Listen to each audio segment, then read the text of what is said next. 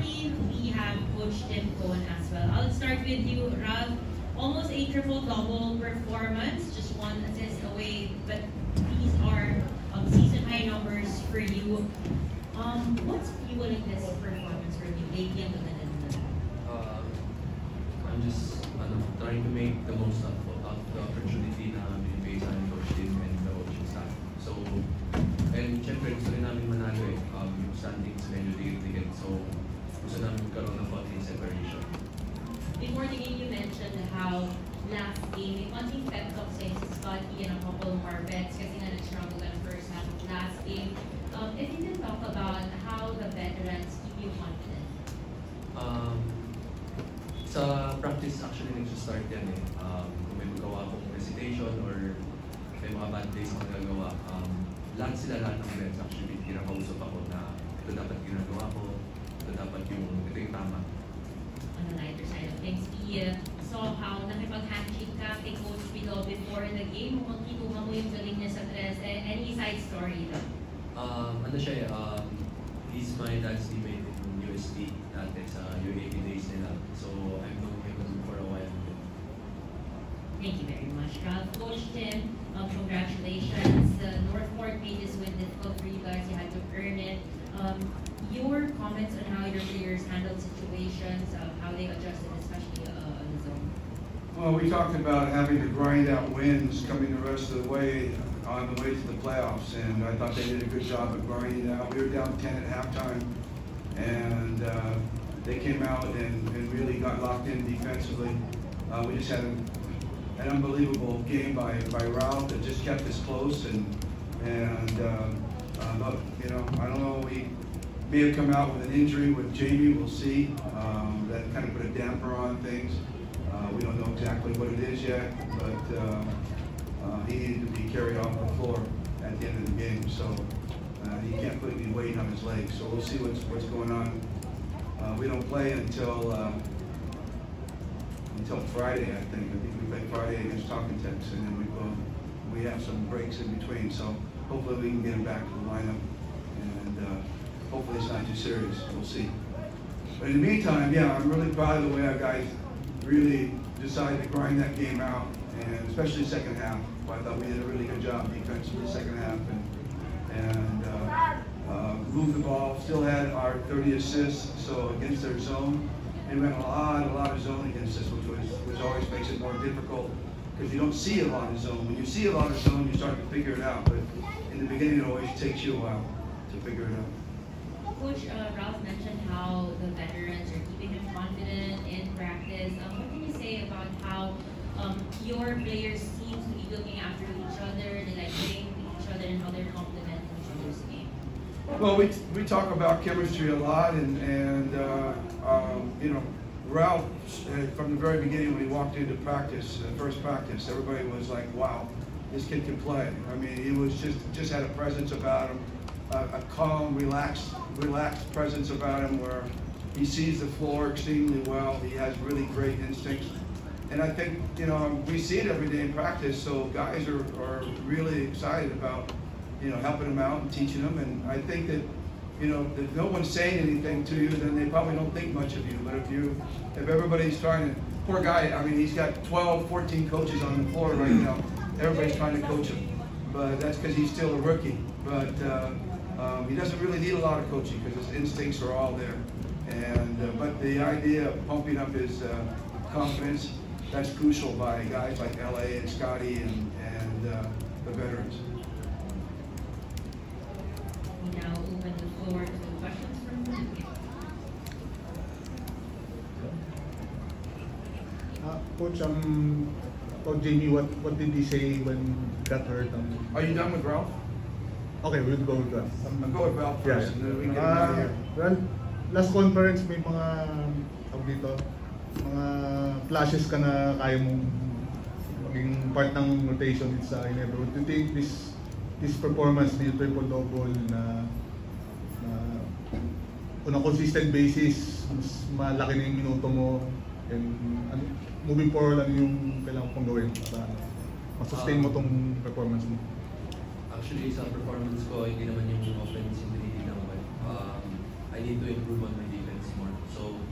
that's actually since during my 3XP days, you know, si Coach Kirk, ito yung sinabi niya sa akin na be good here in 5x5, I need to be, I need to improve my defense. So, I've been working on that. Ah, well, may game ka last conference na may pasa kang ibang klase na parang natin parang ikaw lang siguro makakita nun na tonight that night na sa mo ba nakukuha yung vision mo to find yung, mga pasa mo for baskets? Uh, well, actually, big factor si Chris Ratty. Um, he doesn't stop moving. So, lagi kami may flow sa offense. So, yun, nagtutulungan lang naman kami. And siguro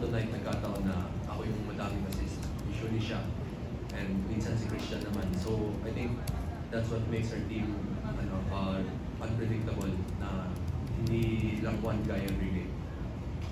Ralph, at any point in that fourth quarter, you, aware ka ba na you were nearing a triple-double or No, I don't think so. I better not be aware.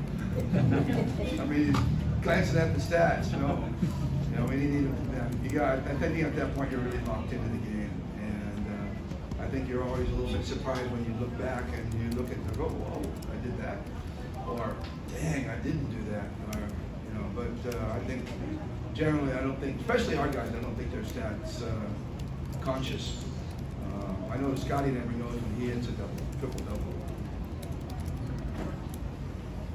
Kay Ralph. no? kay Ralph? Ano? Ralph, Ne- Next Ralph. Watch.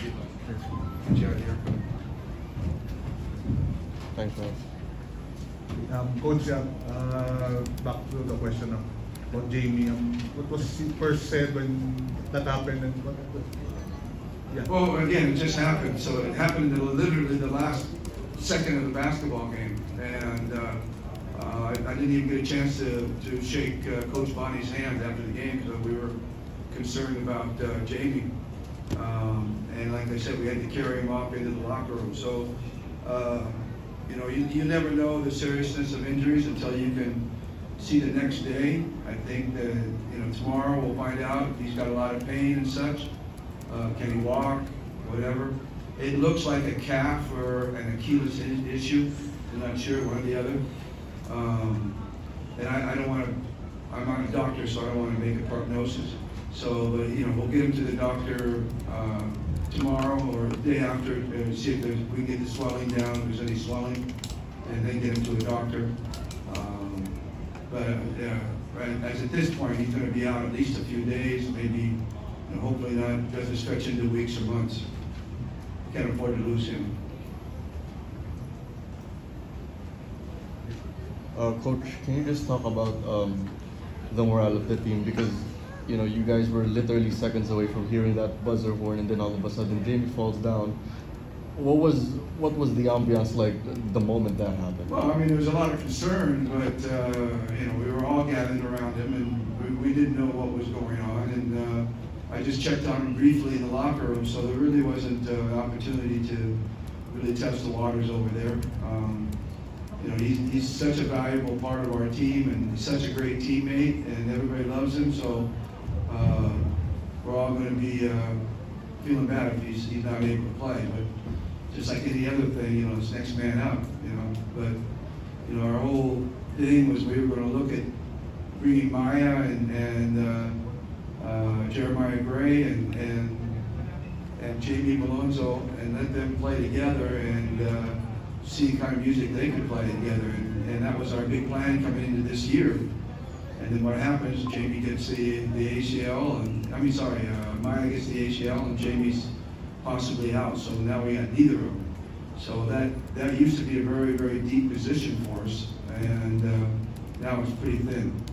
But uh, again, if we can continue to get the kind of games we got from Ralph, you know, that's what we talk about in terms of the next man up. Uh, maybe now Sidney's going to have to step up. We'll see Stanley stepping up some more. Um, that's the positions that we'll have to fill out Jamie's not ready to go.